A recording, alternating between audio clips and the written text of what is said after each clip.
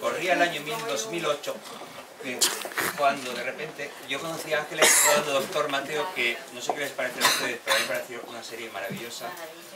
Y nuestra amistad surgió ahí y siguió durante muchos años, nos conocimos luego, volvimos a vernos en, Los Ángeles y ya me contó ella su, su intención de hacer una película que ha costado mucho trabajo, porque no sé si sabéis que lo más normal en este país es que una película te cueste mucho trabajo y muchos años sacarla adelante. Casualmente las dos últimas películas que he hecho, la he hecho con dos directoras, con Ángeles y con Gracia Querejeta, y las dos, además, casualmente, se han pospuesto en el tiempo. Tanto la de Gracia se iba a rodar en 2011 se hizo en el 2014, y la de Ángeles también se iba a hacer pues, hace tres años y se hizo este año todo con mucho sufrimiento, sobre todo para las personas que lo llevan para adelante. Nosotros, bueno, mucho sufrimiento que paro hace seis meses, dos veces seguido, pero bueno, fue divertido dentro de lo que cabe.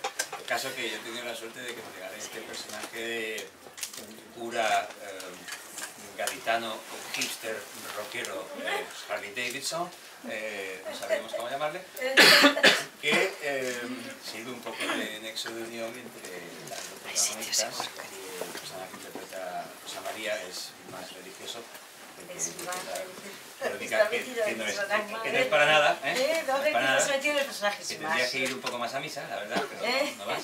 No voy. Y, y Echamos bueno, de menos a la Rosy, a Mucho. Sara, y bueno, la, nos gustaría tenerla aquí, está en Barcelona, está, está ocupada. Y no es ella tampoco muy sociable, ¿no? A sacar puede eso. evitarlos, es